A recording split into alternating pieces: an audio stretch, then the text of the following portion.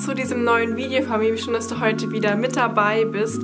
Meine Ferien sind da schon in einer Woche wieder zu Ende. Ich komme aus Berlin und mittlerweile haben wir einfach schon die letzte Woche Ferien. Ich kann es gar nicht glauben. Tatsächlich freue ich mich aber auch schon wieder ein bisschen auf die Schule. Da natürlich sechs Wochen Ferien teilweise auch langweilig sein können. Und deswegen bin ich jetzt auch ein bisschen motiviert für die Schule und dachte mir, dass ich heute mal einige Tipps teilen werde für ein organisiertes Schuljahr. Vergesst nicht, meinen Kanal zu abonnieren für weitere Back-to-School-Videos und es war viel Spaß bei dem heutigen Video. Let's go! Die erste Sache, die ich allen raten würde, ist ein festes System bei zum Beispiel Klausuren oder Tests zu haben. Ich sage jetzt immer die ganze Zeit nur Tests, aber ich meine halt alle möglichen Prüfungen mit. Und wenn wir zum Beispiel einen Test schreiben müssen, ist es total hilfreich, eine feste Routine zu haben, einen festen Ablauf zu haben, wann man sozusagen oder generell was man eigentlich macht. Beispielsweise ist es bei uns in der Schule so, dass wir drei Aufgabenbereiche haben. Beispielsweise ist Aufgabenbereich 1 einfach nur Dinge auswendig zu lernen, diese Sachen dann wiederzugeben. Aufgabenbereich 2 ist, glaube ich, ähm, diese Dinge dann zu begründen. Und Aufgabenbereich Aufgabenbereich 3 ist dann eigene Stellungen zu nehmen und eigene Informationen mit reinbringen, das alles zu verknüpfen. Und ich weiß jetzt schon, dass in meinen Klausuren alle diese drei Aufgabenbereiche rankommen werden in drei verschiedenen Aufgaben. Und bei uns ist dann halt meistens so, dass wir wirklich drei Aufgaben haben, die jeweils diesen Aufgabenbereich abdecken. Das heißt, ich weiß sozusagen eigentlich schon fast immer, wie meine Klausuren aufgebaut sind. Und deswegen kann ich mir jetzt sozusagen schon eine Routine aussuchen oder überlegen, wie ich eigentlich rangehen möchte und wie ich diese ganzen Aufgaben bearbeiten möchte, was mir dann enorm viel Zeit, aber auch enorm viel Stress Stress sparen kann. Beispielsweise habe ich hier meine Routine aufgeschrieben und zwar ist der erste Schritt, die Aufgabenstellung zu lesen und vielleicht Dinge zu markieren. Dann zweitens das Material zu lesen, das zu verstehen, das zu markieren und vielleicht auch Wörter irgendwie zu klären, die ich nicht ganz verstehe. Dann die dritte Sache ist Material in Bezug zur Aufgabenstellung setzen und sozusagen das schon mal so versuche zu verstehen und Verknüpfungen zu sehen. Der vierte Punkt ist dann in Stichpunkten die Aufgaben strukturieren und vielleicht einen Schreibplan machen oder einen roten Faden haben. Dann die fünfte Aufgabe ist, die Aufgabe zu erledigen und die sechste Aufgabe Aufgabe oder der sechste Schritt ist dann eine Kontrolle davon zu machen und ja, mal alles durchzugehen. Ähm, und das sozusagen ist dann mein Vorgehen in der Politikklausur, habe ich hier aufgeschrieben. Ich glaube, dieser Tipp ist sehr hilfreich für Leute, die schon in der Oberstufe sind und vielleicht nicht so in der Mittelstufe oder Unter Unterstufe, sagen wir es überhaupt so, oder halt in unteren ähm, Klassen, wenn man da ja noch nicht diese festen Klausuren hat, weil dann natürlich die Tests und Arbeiten immer so ein bisschen anders aufgebaut sind. Aber ich glaube, wenn man schon so einen festen Lehrer, eine feste Lehrerin hat, weiß man schon, wie diese Person diese Aufgaben und die Tests und Arbeiten und alles alles strukturiert ist. Aber das ist total sinnvoll, eine feste Struktur zu haben und eine feste Routine zu haben. Der zweite Punkt für ein organisiertes Schuljahr ist auch ein festes System zu haben in Bezug auf deine Schulnotizen, auf deine Schulsachen. Beispielsweise organisierst du dich vielleicht digital auf deinem iPad, hast du alles drin, oder du machst das Ganze in verschiedenen Ordnern, verschiedenen Heftern, oder du hast einen großen Ordner, wie auch immer. Das ja nur, dass du immer weißt, wo du etwas findest und dementsprechend nie kramen musst oder irgendwie alles suchen musst oder Dinge verlierst oder so. Das ist ja natürlich nicht ganz so vorteilhaft. Ich glaube auch, dass sich dann das Team über die ersten Wochen noch mal ein bisschen entwickeln wird und du nicht jetzt in der Ferien schon direkt alles wissen musst. Weil ich glaube zum Beispiel, ich vergesse bestimmt einige Sachen, die ich noch aufschreiben wollte oder die ich irgendwie einheften möchte oder so.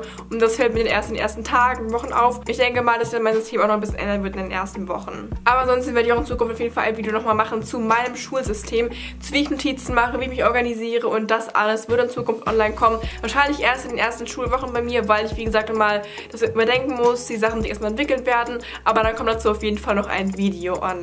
Der dritte Punkt gehört eigentlich noch ein bisschen zum zweiten Punkt. Und zwar ist ja das Thema gewesen, ein festes Schulsystem zu haben. Und natürlich gehört auch zu einem festen Schulsystem, zu einem guten organisierten System auch ein guter Kalender dazu. Und da kann ich zum Beispiel die Kalender von Heft empfehlen. Ich persönlich habe jetzt diese zwei Kalender hier und finde sie total schön und auch einfach sehr praktisch. Aber Heft hat nicht nur diesen Timer hier, sondern noch ganz viele andere Kalender, Hausaufgabenhefte, Notizbücher, Blöcke und sowas alles. Es gibt auch verschiedene Covermöglichkeiten. Beispielsweise habe ich jetzt diesen hier auch so, weil ich den einfach super schön finde in der Farbe und weil das Ganze so minimalistisch gehalten ist. Und die Seiten sehen hier so aus, also sozusagen hat man für jeden Tag genug Platz. Und hinten gibt es natürlich auch noch ganz viele andere coole und praktische Sachen, die man da machen kann, wie zum Beispiel eine Karte hat man hier, Geburtstage, Sudoku und sowas alles.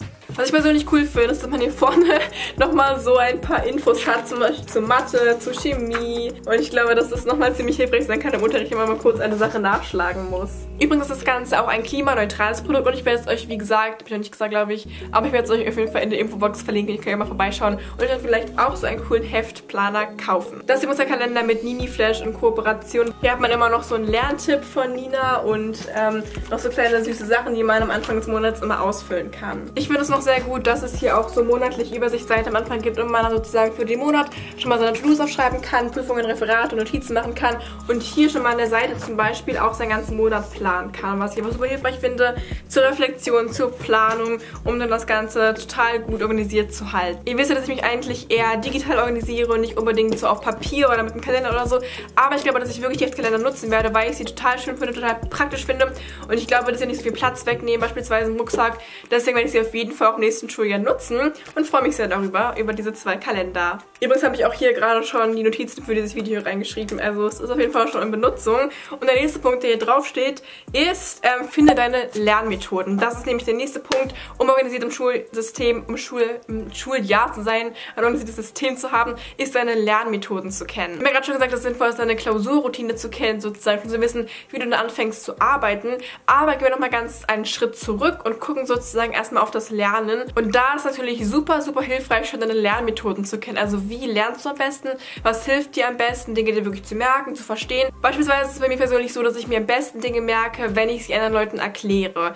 Ich kann zum Beispiel mir die Text tausendmal durchlesen und verstehe sie dann einfach trotzdem noch nicht. Ich muss sie einfach wirklich aktiv behandeln, beispielsweise dann irgendwas rausschreiben, mir dazu Fragen aufschreiben, sie den Leuten erklären und sowas alles. Und das habe ich halt nur für mich herausgefunden, indem ich ganz viele verschiedene Dinge ausprobiert habe und sozusagen probiert habe, Dinge zu markieren, Dinge rauszuschreiben, Dinge nur durchzulesen, Dinge abgefragt zu werden. Und ich habe wirklich für mich gemerkt, was jetzt am besten passt, wie ich mir am besten Dinge merken kann, wie ich am besten schwierige Konzepte verstehe und was mir dementsprechend am besten bei der Prüfung dann hel helfen kann und hilft. Ich habe auch vor, in der nächsten Zeit ein Video zu dem Thema Lernmethoden und Lernroutinen zu machen.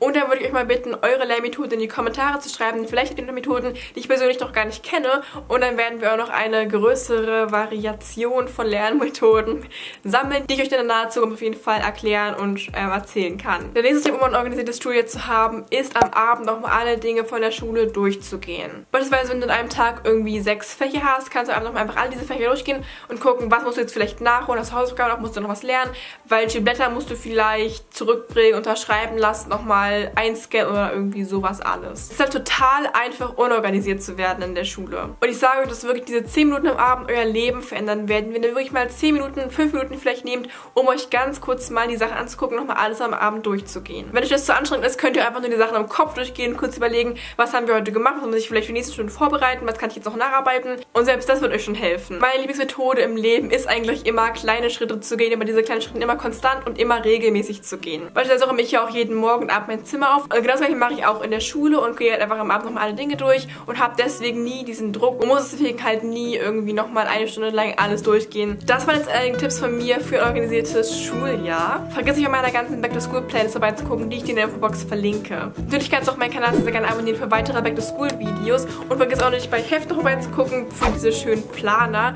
Und jetzt würde ich sagen, sehen wir uns auch schon im nächsten Video wieder. Ich wünsche dir noch einen wunderschönen Tag und dann hoffentlich bis nächste Woche. Tschüss!